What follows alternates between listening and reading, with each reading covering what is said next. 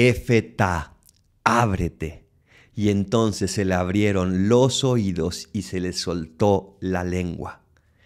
¿Cuántas veces hemos experimentado esos momentos de efeta, donde los oídos de nuestro corazón se han abierto y hemos comenzado a escuchar verdaderamente a Dios?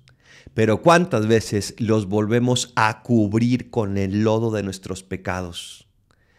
Pidámosle a Jesús que nos ayude a escucharlo siempre a Él que nos ayude a abrir siempre nuestro corazón para que sus mensajes, sus palabras, nunca caigan en terreno estéril, sino que siempre podamos escucharlo y que nuestra lengua también siempre pueda proclamarlo.